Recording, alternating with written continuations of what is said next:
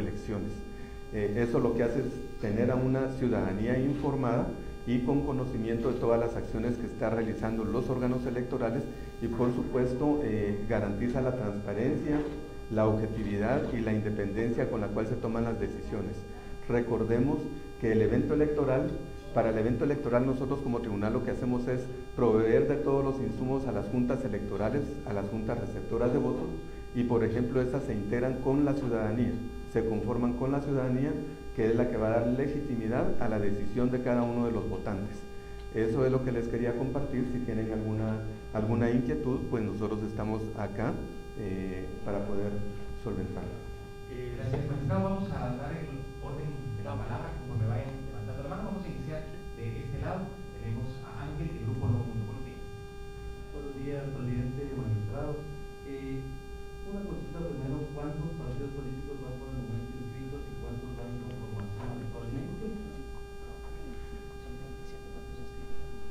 bueno, eh, en este caso pues me, me, apoya el magistrado para poder... Eh... Bueno, con las últimas... Eh, con las últimas inscripciones... Perdón, perdón, el micrófono corto, aquí están... No, no, no entra. Gracias. Perdón.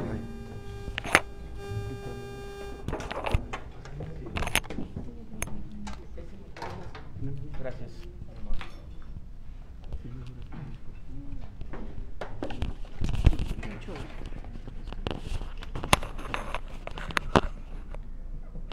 Bueno, con las últimas eh, inscripciones, actualmente a la fecha tenemos 27 partidos inscritos y eh, hay un comité para la formación de partido político que ya se realizó la publicación del edicto, está en el plazo de oposición, de no existir ninguna oposición, pues estaríamos ya la próxima semana contando con 28 partidos.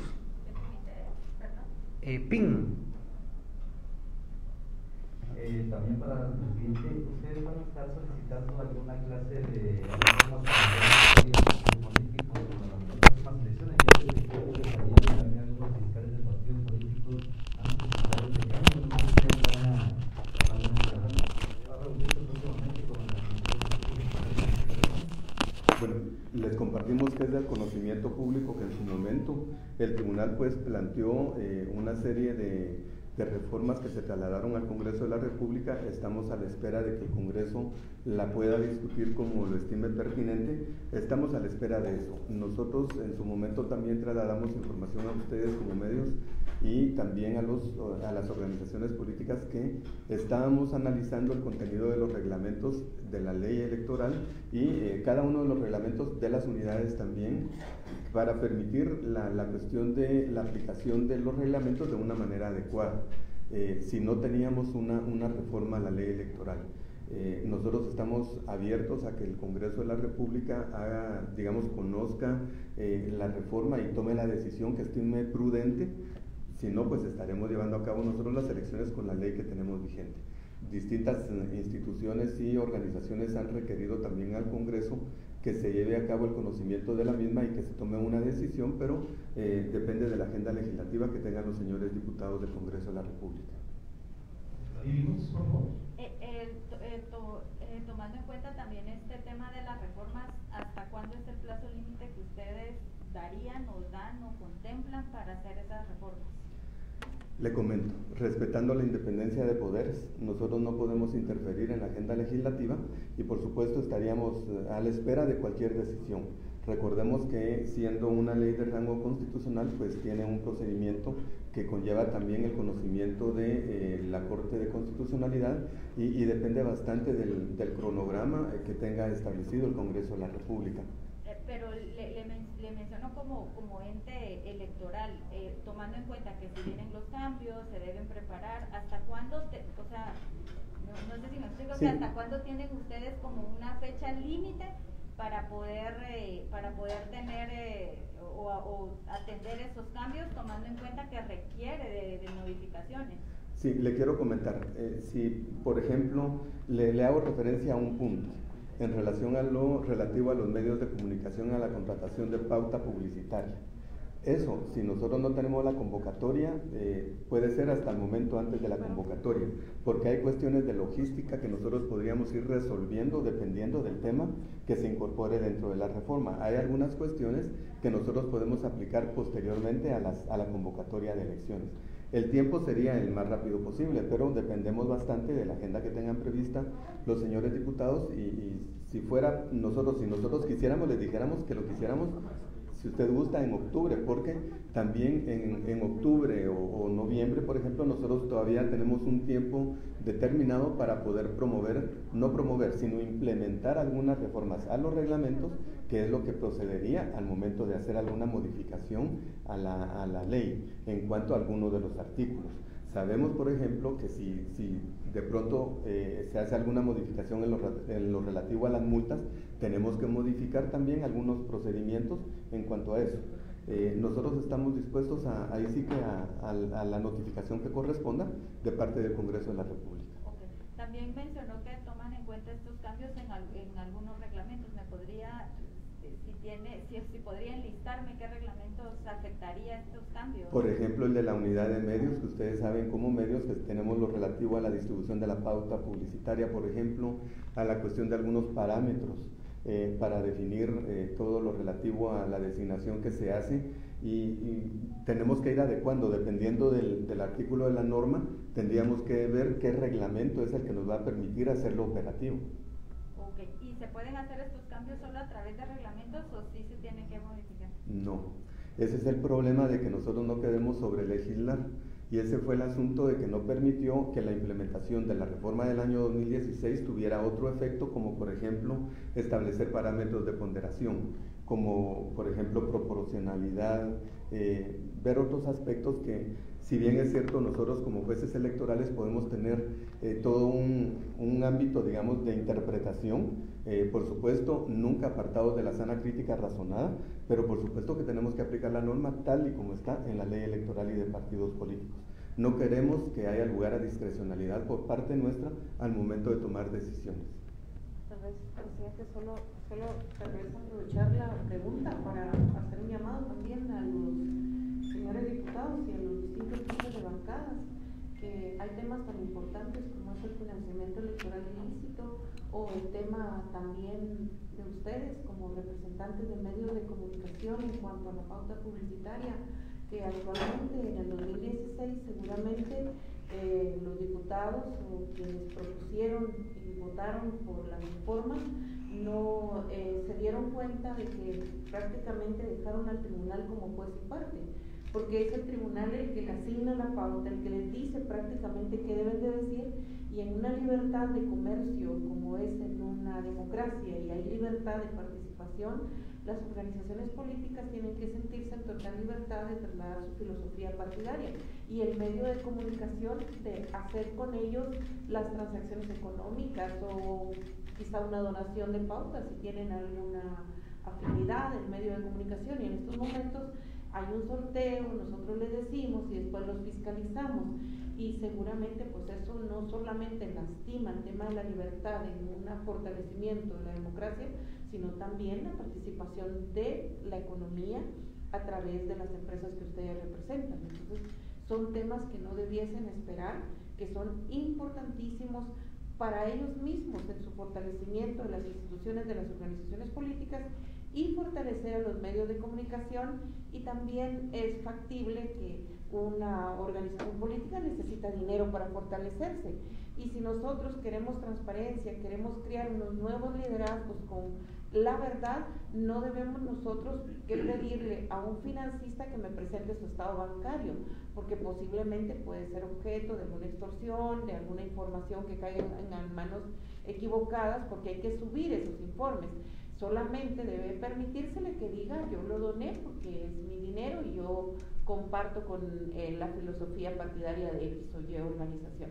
Pero en estos momentos la misma ley pone límites para esa transparencia natural, para ese fortalecimiento de transparencia que nosotros como guatemaltecos estamos reclamando. Entonces, sí hacer un llamado para que ellos tomen conciencia que es el momento, porque aunque nosotros pudiésemos pensar que en cualquier momento, antes de la convocatoria, pudiésemos nosotros ver el tema en cuanto a recibir alguna reforma que se dé a la ley electoral y de partidos políticos, el Tribunal Supremo Electoral también tiene que hacer una planificación.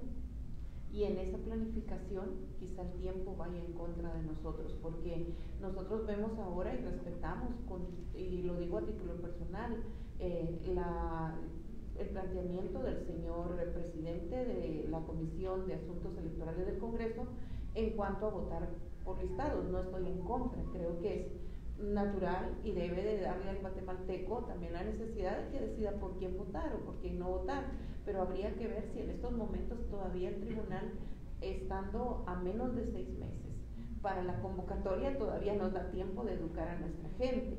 Entonces hay que también pensar en la viabilidad de lo que nosotros estamos proponiendo. Muchas gracias. Eduardo Hernández de Radio Punto. ¿Qué tal? Muy buenos días. Eh, magistrado, usted hablaba del tema de, del financiamiento electoral. ¿Cómo controlar eso para las próximas elecciones, tomando en cuenta que ha sido un, un punto muy discutido y ha estado en polémica siempre porque los partidos políticos en muchas ocasiones han sido cancelados por el tema del financiamiento electoral? ¿Cómo, cómo controlar eso por parte del Tribunal Supremo Electoral para las próximas elecciones generales? Y la otra pregunta es para pues, la nueva presidenta que estará próximamente tomando posesión. ¿Cuáles serán los desafíos más importantes de cara a las elecciones generales del próximo año y eh, las recomendaciones que da para poder llevar un proceso electoral transparente o que desea el Tribunal Supremo Electoral? Gracias. No sé si empieza la magistrada. El financiamiento electoral. Bueno, en un país en donde no hay normas que transparenten la veracidad, nosotros permitimos que haya dinero dentro de las campañas que no se va a reportar, con un techo presupuestario real, porque actualmente el techo presupuestario se asigna de conformidad con la norma y son 50 centavos de dólar para la campaña por habitante en cuanto a la ciudadanía. Eso es irreal. Nosotros sabemos que eso puede permitir para una reunión, pero la campaña electoral no es de un mes, son dos, tres meses, dependiendo del calendario que se vaya a asignar. Entonces nosotros mismos estamos propiciando con una normativa que no da esa libertad a que las personas puedan mentir, porque únicamente se les permite que ellos nos indiquen en ese techo presupuestario. Entonces es necesario que en este país también, en Estados Unidos y en los países europeos, yo quiero aportar un millón de quetzales o mil, mil dólares, perdón, o un millón de dólares, yo puedo hacerlo. Y la persona dice en qué se lo gastó. Esa es transparencia, esa es premiar la verdad, pero no podemos seguir con una norma que limita a las organizaciones políticas con un techo presupuestario que es irreal y que los guatemaltecos y las guatemaltecas y las organizaciones políticas lo sabemos.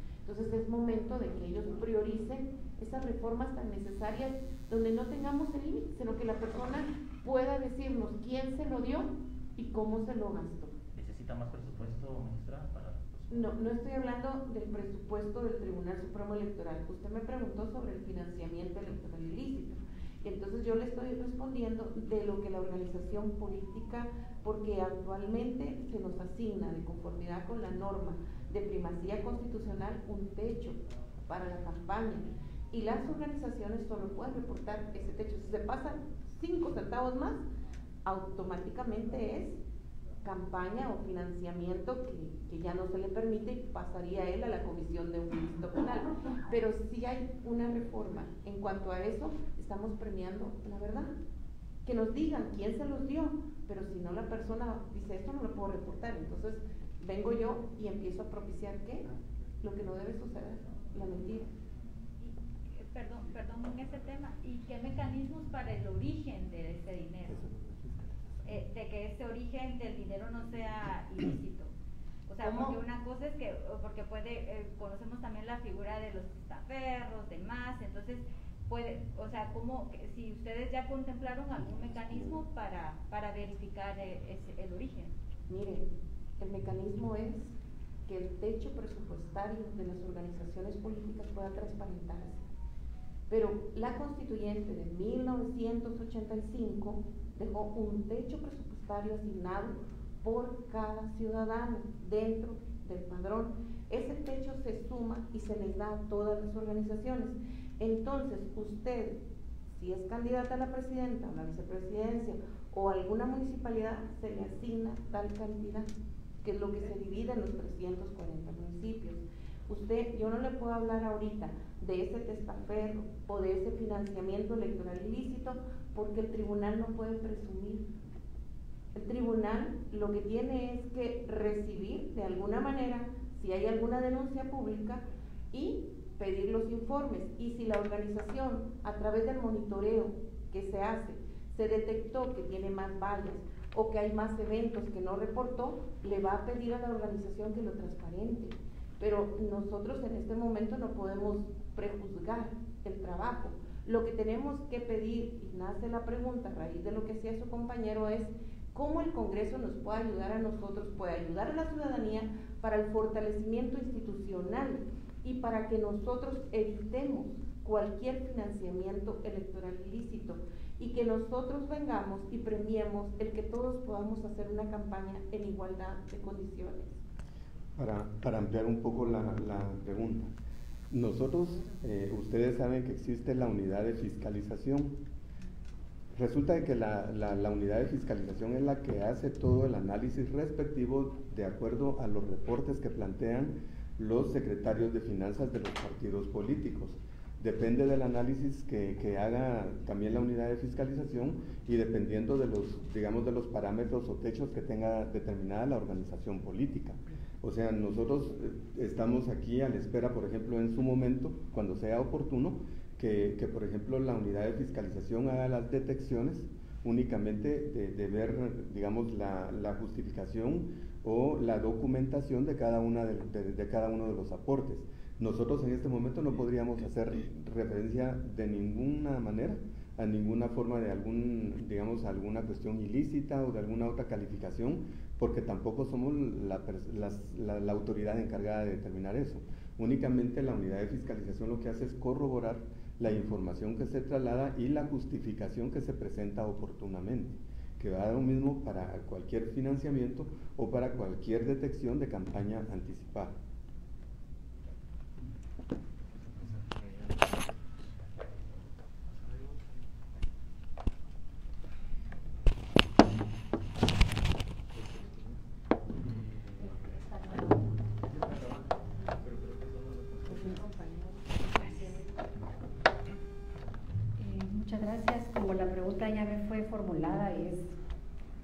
Abarcativa.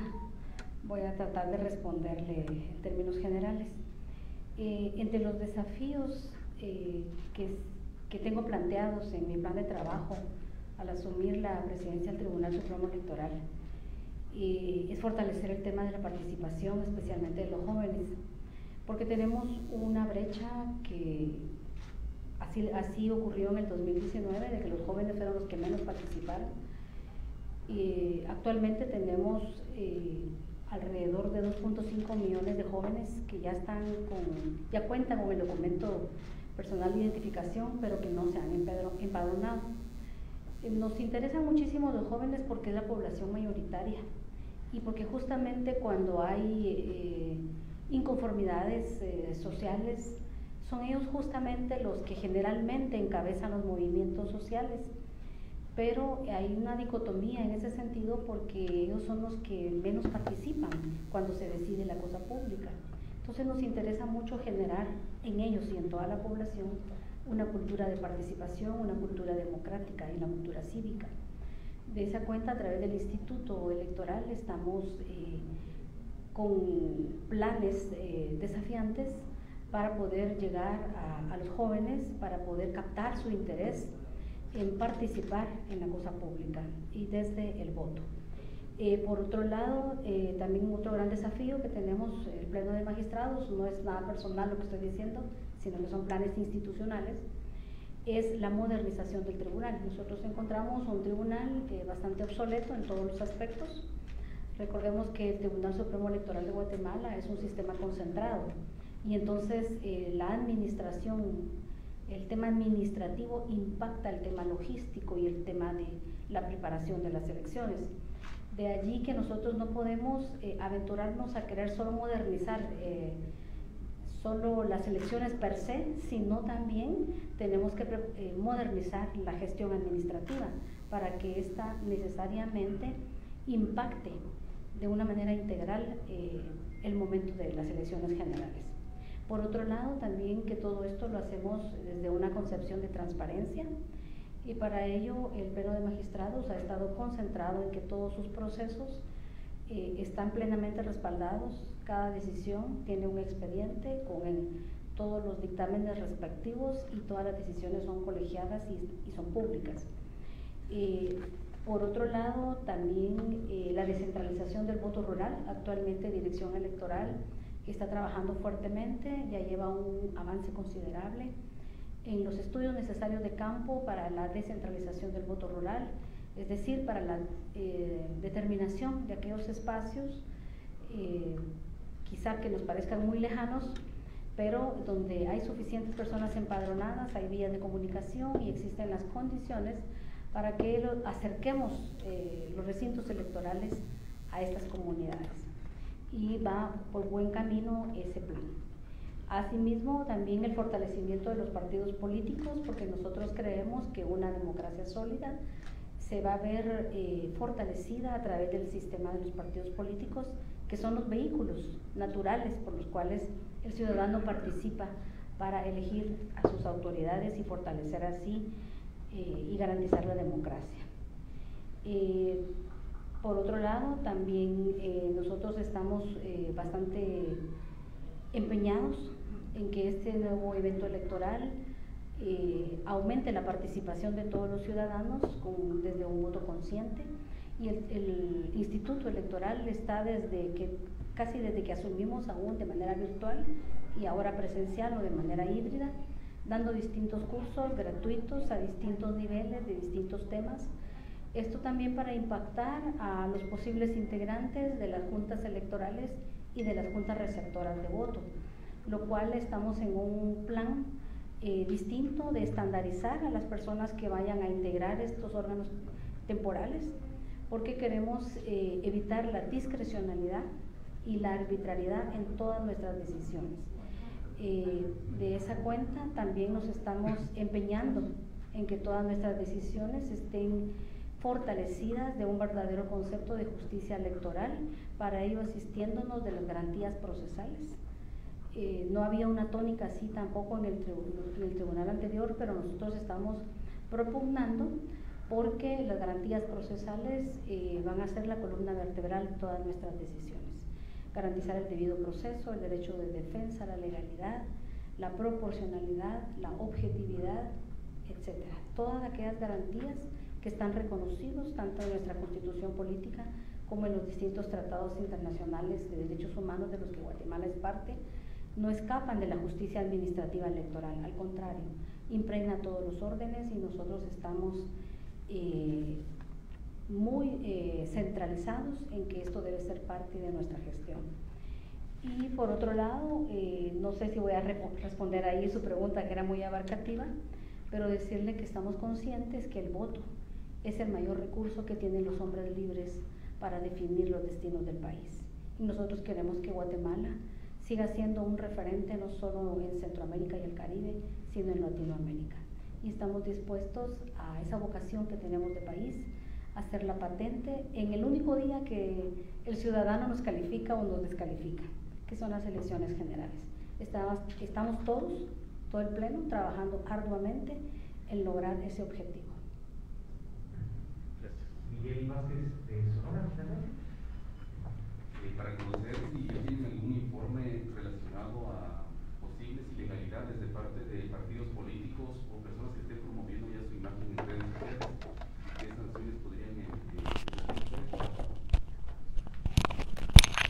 Bueno, les queremos compartir que, eh, como ustedes saben, la unidad de, monitoreo en, medios eh, de, la unidad de medios, pues está haciendo las detecciones como corresponde y es del conocimiento público las, eh, digamos, las advertencias que se han notificado.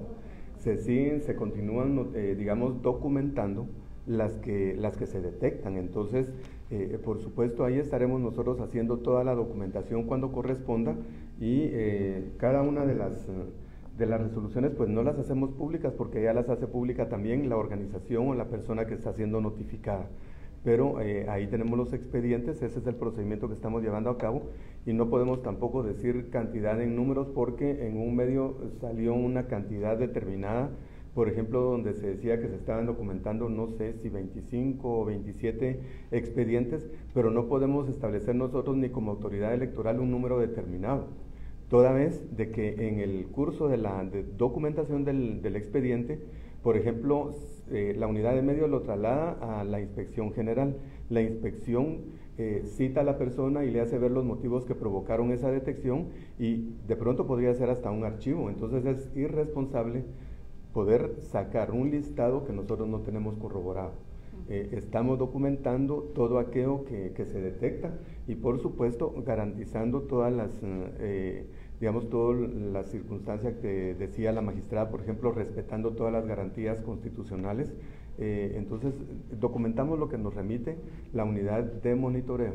Entonces, ahí tenemos expedientes, los documentos hablan por sí mismos y los expedientes que están debidamente, debidamente iniciados en la unidad de medios y, por supuesto, con todo el procedimiento que conlleva cada uno de ellos.